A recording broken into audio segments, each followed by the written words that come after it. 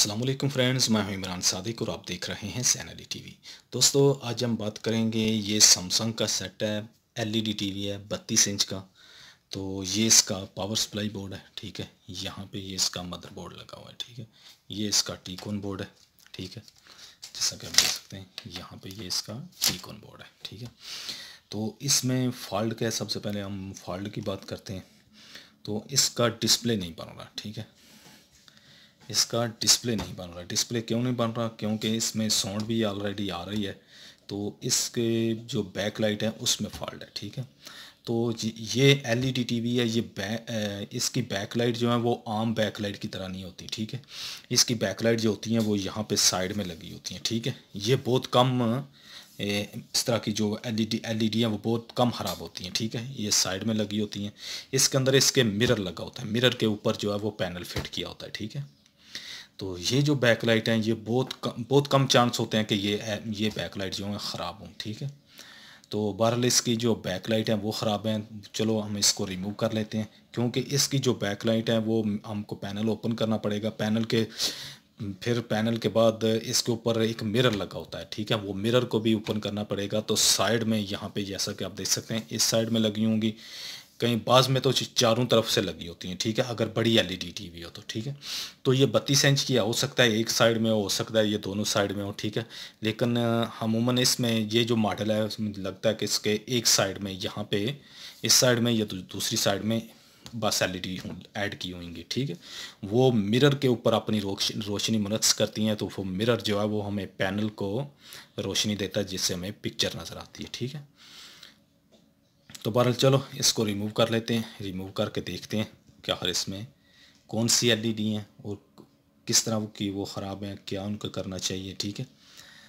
चलो, इसको रिमूव करके देख लेते हैं। तो ये फ्रेंड्स मैंने पैनल को रिमूव कर लिया।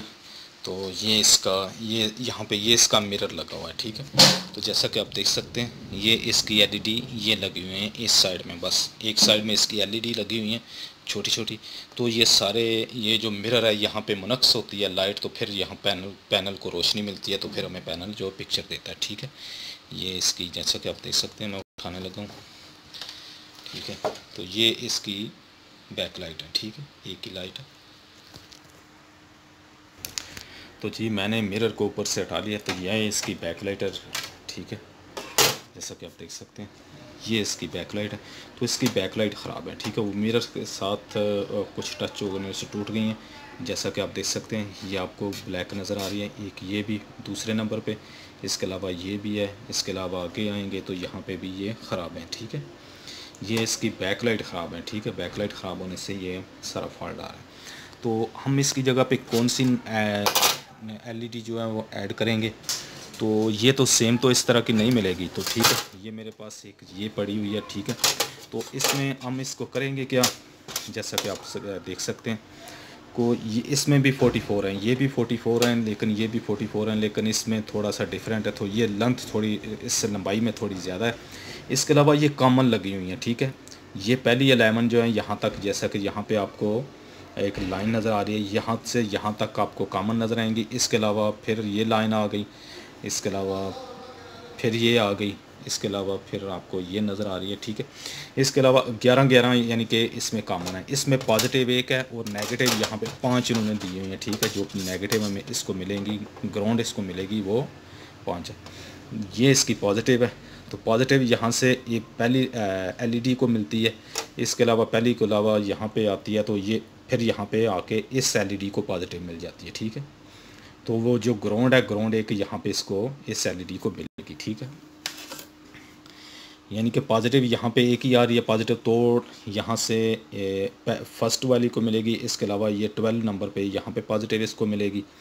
इसको मिलने के बाद फिर पॉजिटिव यहाँ पे इसको पॉजिटिव मिल जाएगी।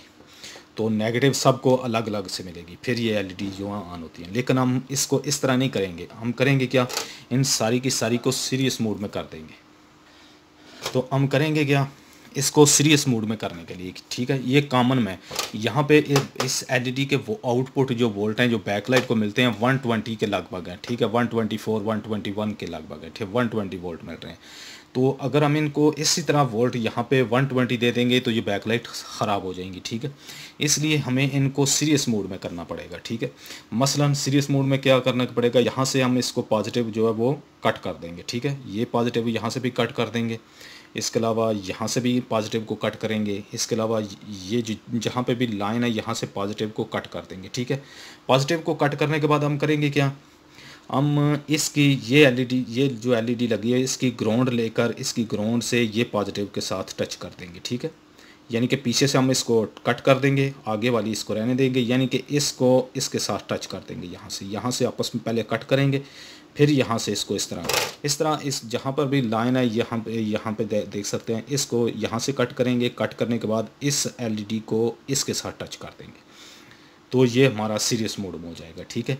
इसके अलावा हमें करना क्या पड़ेगा? यहाँ पर हमें फ़र्स्ट वाली पे यहाँ पे पॉजिटिव दे देंगे और एंड वाली पे यहाँ पे नेगेटिव देंगे, ठीक है? ये नेगेटिव है।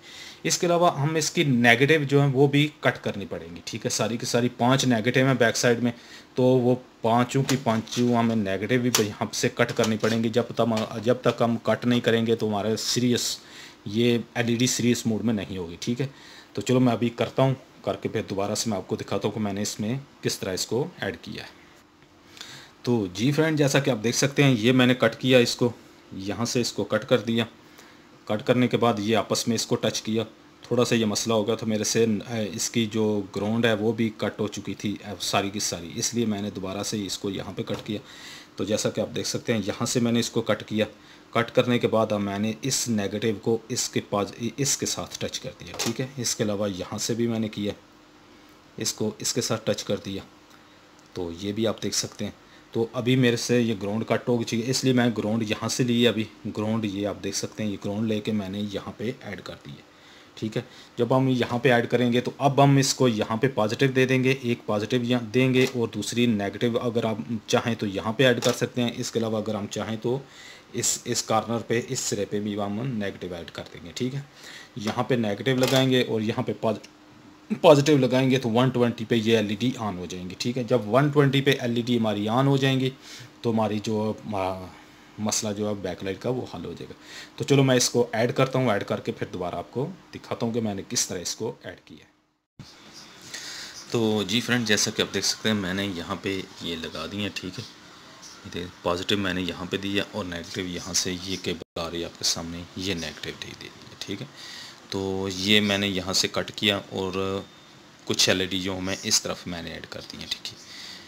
क्योंकि लेंथ भी ये बड़ी लेंथ थी, इसलिए मैंने यहाँ पे ऐड कर दी है। अगर यहाँ से कट करते तो वोल्टेज ज़्यादा थे तो ये एलईडी जल्दी ख़राब हो जानी थी, इसलिए मैंने यहाँ पे ये चार, तीन एलईडी छोड़ दी हैं मैंने।